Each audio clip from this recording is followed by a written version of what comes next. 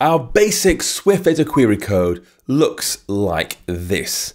Just simply at query, sort prospect name by prospects as an array of prospect. And by default, that's going to load all the prospect model objects, sorting them by their name. And while that's fine for the Everyone tab, it's not enough for the other two. In our app, we have three instances of our prospect view across this tab part bottom, and they vary only according to this filter type value being passed in here. We're already using that. Set the title of our navigation area here, but we can also use that to filter our query. Yes, we already have this default query in place right now, but if we add an initializer, we can override that when a filter is set. And so we add a custom initializer to our prospects view. Now down here, we'll say init with a filter filter type. Stash that away straight away in our local property. And then if we are not on the none filter, which is the, the default for everyone, leave that alone as it is, it's fine as it is. If we're not on that, then we want to show either only contacted or non-contacted folks. Do that, we'll say let show contact only equals filter equals equals dot contacted.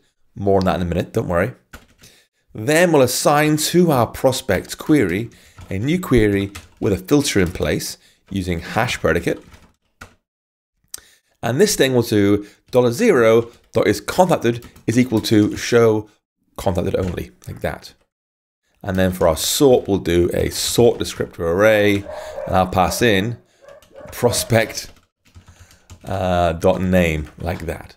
Sort in the same way.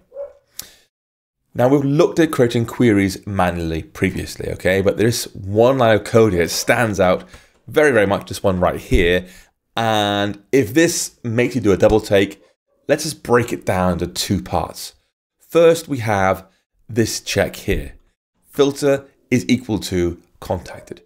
So that's going to say, is filter the thing that's been passed in equal to contacted? If it is, it'll return true. Otherwise, it'll be false.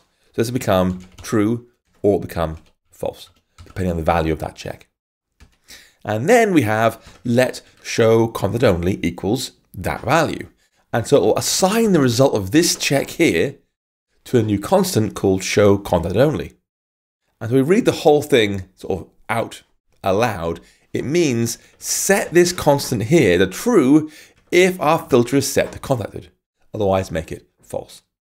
And this makes our SwiftData predicate easy because we can compare that directly against the is contacted property we attached to our model earlier on. With that new initializer in place, we can now create a list to just loop over all the resulting array that comes back, and it'll show both the title and email address of each person uh, using a VStack. So you can just go ahead and replace your text we had earlier, the little counter thing we had, with an actual list here. So this thing here, scrap that. We're going to say the list of our prospects with one prospect uh, coming in. And then just fix the alignment slightly. There we go. Inside here will be a VStack with alignment of dot leading, text prospect dot name in a font of dot headline, then a text of prospect dot email address with a foreground style of secondary, like so. And now, if you run the app again, hopefully we can see, yeah, things looking much better.